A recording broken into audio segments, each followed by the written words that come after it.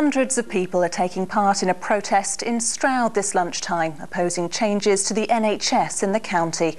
They're angry at plans which will see many jobs and services transferred from the NHS to a social enterprise company.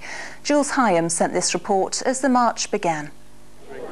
Well, there's a pretty sizable crowd gathered here already, as you can see, people of all kind of shapes and sizes, all different ages, are about to march through the centre of Stroud. The reason is because Stroud Hospital, along with eight other facilities in Gloucestershire, are about to, in eight days' time, be transferred under the care of a social enterprise. Now, Chris Moore is one of the organisers of today's event. Chris, why are you so upset about this change?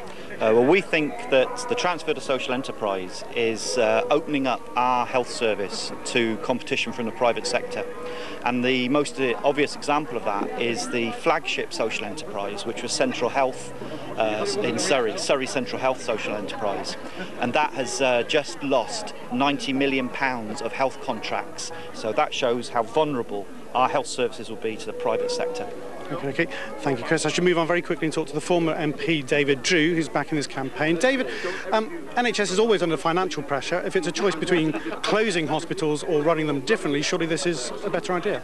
But why are we changing things then? If there are these financial pressures, and I doubt the degree to which uh, uh, they really are, I think this is the most inopportune time to be introducing this major change, taking 3,000 people out the NHS and then going into the unknown area of a social enterprise. So we have to stand up for our services, we have to stand up for Stroud Hospital and for all the hospitals in Gloucestershire, which are just being sold off, hived off.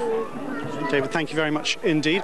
Um, NHS Gloucestershire say that uh, there are ma major restrictions on any kind of social enterprise, limits on what any profits could be used for, and they insist that this is actually the best way to provide for patients in the future.